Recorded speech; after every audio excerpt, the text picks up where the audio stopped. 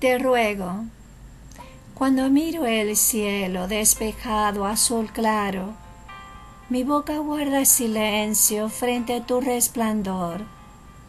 Señor Dios Creador del universo entero, te ruego por favor que mires el dolor, el llanto de tu creación, que con amor se abran las ventanas de la esfera, para que descienda sobre tu creación el amor, la bondad, el perdón, la misericordia, el éxito, la piedad, los alimentos, la salud, el cariño, el deseo de buscar tu rostro, que tus ángeles cósmicos cuiden de nosotros.